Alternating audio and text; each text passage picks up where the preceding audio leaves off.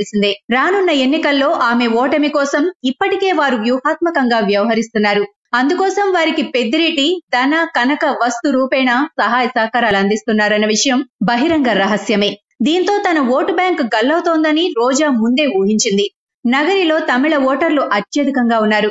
వారి ఓట్లను కొల్లగొట్టేందుకు ఇటీవల తన భర్త సెలవుమణితో కలిసి ఆమె తమిళనాడు సీఎం స్టాలిన్తో భేటీ అయి తన నియోజకవర్గంలోని తమిళులకు సహాయ సహకారాలు అందించాలంటూ కొత్త పల్లవి అందుకుంది. ఈ విషయాన్ని పరిశీలిస్తానంటూ స్టాలిన్ చెప్పడంతో ఆమె కాస్త డీలా పడినట్లు తెలుస్తోంది. ఇదే అంశాన్ని సీఎం జగన్కు కూడా వివరించగా రాష్ట్ర ఆర్థిక పరిస్థితి నీకు తెలియనిది కాదంటూ ముక్తాయింపునిచ్చి మరీ రోజాకు క్లాస్ పీకినట్లు సమాచారం. ఈ నేపథ్యంలో ఈసారి ఎన్నికల్లో గెలుపు అంత ఈజీ కాదని దాంతో తీవ్ర ఆలోచనలతో రోజా నలిగిపోతున్నట్లు ఆమె సన్నిహితులు పేర్కొంటున్నారు.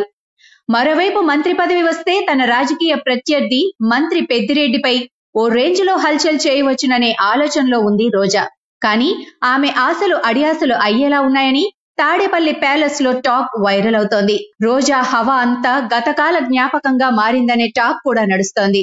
నేడు అంతా చిలకలూరిపేట ఎమ్మెల్యే రజనీదే హవా అని ప్రస్తుతం జగన్ కేబినెట్లో ముగ్గురు మహిళా మంత్రులు ఉన్నా వారు హోం మంత్రి డిప్యూటీ సీఎం గా ఉన్నా వారంతా విడుదల రజనీ ముందు దిగతుడిపే అనే టాక్ అయితే అమరావతిలో సైతం హల్చల్ చేస్తోంది. రానున్న ఉగాదికి జగన్ కొత్త కేబినెట్ కొలువు తీరనుందని సమాచారం. ఈ కేబినెట్లో రజనీకి బర్త్ కన్ఫర్మ్ అయినట్లు తెలుస్తోంది. కానీ రోజా విషయంలో అలా కాదు. చిత్తూరు జిల్లా రెండు జిల్లాలు అవుతున్న సందర్భంగా ఆమెకు కాకుండా కేబినెట్ బర్త్ భూమన లేదా చెవిరెడ్డి తన్నుకుపోయే అవకాశం ఉందని సమాచారం.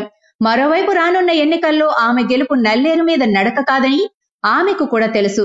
దీంతో రోజా రాజకీయానికి చెక్ పెట్టేందుకు పెద్దిరెడ్డి మంత్రాంగం వంద శాతం వర్కౌట్ అవుతుందని చిత్తూరు